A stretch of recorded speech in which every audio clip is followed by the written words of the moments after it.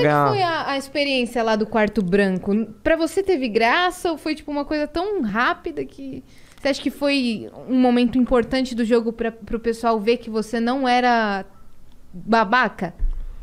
Então, pro pessoal, é, na realidade, o momento que eu revirei meu jogo, que as pessoas começaram a falar, cara, mas esse moleque não faz parte do que estão julgando ele. Foi no momento que eu virei no programa ao vivo e eu falei, pô, eu até lembro da, da fala.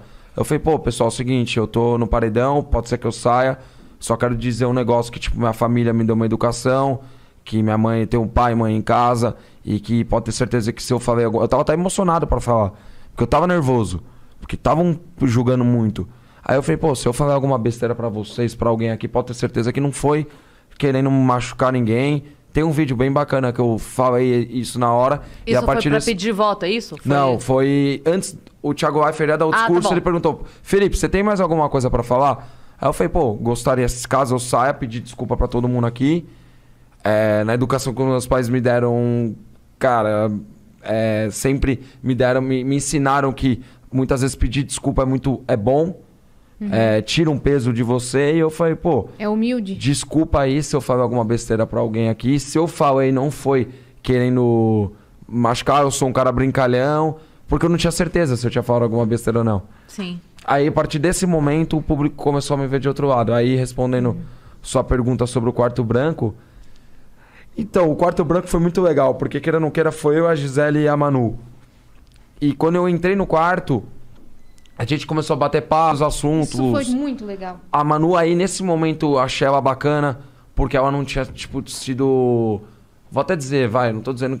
Mas no momento que eu perguntei pra ela o que era so, soronidade. Sororidade. Sororidade. Até trava pra falar. É, ela foi muito escrota comigo, porque eu não sabia o que era. Eu só queria saber pra eu não ser, não sei, eu não sabia o que, que era. Eu falei, se eu tô sendo isso, desculpa. Eu tava desesperado, pô, eu tava com medo.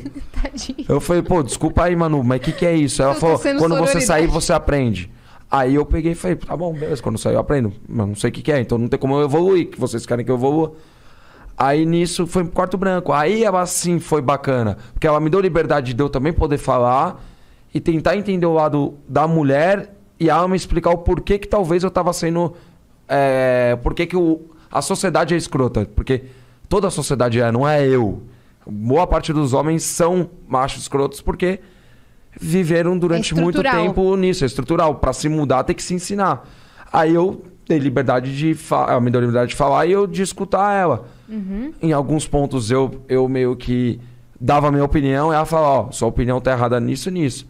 Virou um debate, mas um debate sadio, de amadurecimento. Sim, foi uma conversa uma das mais sinceras do jogo. É, eu dei exemplos da minha vida, ela falou, o que você fez é errado. Eu falei, puta, verdade, pô, pensando por esse lado, ela me deu uma visão da mulher pra aquilo. Porque elas perguntaram de família, de relacionamento. Vocês É. não tinham tido uma conversa assim É, eu- durante o jogo, sabe? Ou seja, ela primeiro tinha que me conhecer pra me julgar, era isso que eu tava querendo. E elas gostavam de você. É, Eu acho A que a Gisele raiva... mais, né? Óbvio. Eu acho que eu acho que a raiva Obrigada, ali Bru. era tipo assim, caramba, esse cara é muito legal e eu não posso gostar dele, sabe? Era meio exato. que um, um- porque, uma- eu, porque eu era o voto fácil. Sim, O- eu era o voto fácil pra eles não brigarem entre eles. sim. É muito mais fácil. Vamos lá, a gente tá aqui no podcast. Vai, precisa votar em alguém. Vocês são muito unidas. Vocês vão preferir votar em mim do que votar entre vocês. Sim. É mais ou menos isso que eles faziam. Toda Será? semana eu só ficava assim no sofá. Felipe Prior, você com 250 votos está no paredão. Porém, essa semana temos o contragolpe. Aí eu fazia assim. É. Aí é legal, né? Sim, sim. E a Então- gente em casa desesperado, es- esperando quem você ia botar. Aí o quarto branco, só pra finalizar, as meninas começaram. Eu fui no banheiro. E eu fui mamando. Eu falei, cara, essas meninas tão. tão muito legais. Tá alguma coisa estranha. Aí eu fiquei meio que atrás da porta antes de entrar no banheiro, escutando. E eu escutei que elas estavam. Ele não vai aguentar. Vamos, vamos fazer. Tipo, elas estavam meio que tramando alguma coisa pra mim. Aí eu falei, ah, é? Vamos ver então quem é mais malandro. Manu, jogou na onde, né? Tipo, brincando, dizeres de futebol, né? Aí eu, aí eu comecei a jogar com elas. Tipo, elas começaram a brincar, a Manu, se você pegar. Eu sabia que a Manu não ia aguentar lá dentro. Por isso que eu escolhi ela. Aí eu, eu comecei a brincar. Ela começou, se você dar um beijo na Gisele, eu aperto o botão. Eu falei, tem possibilidades então. Eu falei, eu dou um beijo na Gisele, pra não ficar no quarto branco. Aí nós começamos a brincar entre a gente. Tal, tal, foi, foi zoeira, foi zoeira, só que aí um momento a gente começou a entender, ela, ela tava tentando apertar o botão por algum motivo que o Thiago tinha falado. E quem apertasse, vocês não sabiam? Ou sabiam? O Thiago, quando ele falou, ó, temos o botão vermelho, quem apertar o botão vermelho, tal, tal, tal, tal, tal, tal, tal, tal, tal. Na cabeça da gente ficou uma dúvida. E essa dúvida eu fiquei alimentando a Manu. Mas vocês não sabiam se era bom ou ruim, é isso? Eles falaram assim, é... Se ninguém apertar o botão, os três estão no paredão. Porém, se um apertar, não falou o que que era.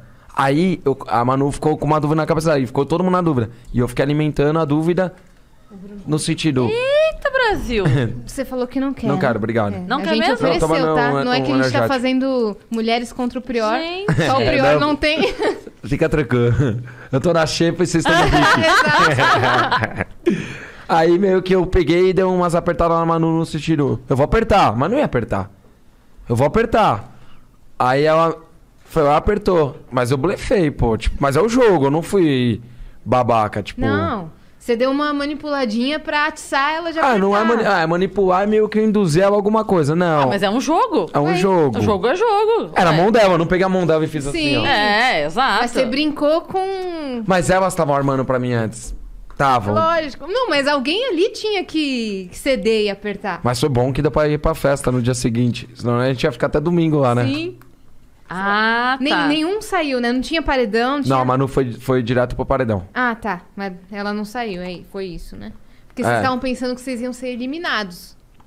Apertou o botão, saiu do, do jogo, né? A gente tava com medo Que do- de fosse os um, três. ou quem apertasse fosse eliminado. É, exato. Mas não iam eliminar, cara. Assim, Não não ia. não ia. eu, Ia sabia, ser- eu sabia que, tipo, queira não queira, eu e a Manu... A Manu eu já sabia que era uma pessoa forte aqui fora, né? Eu desisto, vou tomar sem a tampa. Aqui, o ó. seu contrato com a Globo já acabou? Faz tempo, a Globo tá, me colocou no freezer. não é Quanto- nem na geladeira. Quanto tempo depois do BBB vocês ficam... Até, poder- até acabar o programa. Ah, depois que acaba o programa aí tá liberado. Entendi. Pra dar entrevista, essas paradas, né? E aí você tava falando que você carregou cimento hoje porque tua vida voltou ao normal, é isso? Ah, então, minha vida tá voltando ao normal. Até é um pouco estranho, tipo, quando eu saí, porque minha vida sempre foi muito corrida, né? Uma pergunta antes disso. Tá. Você falou agora, quando eu saí, eu quero saber disso. Vocês estavam lá, vocês não sabiam da- do, do corona.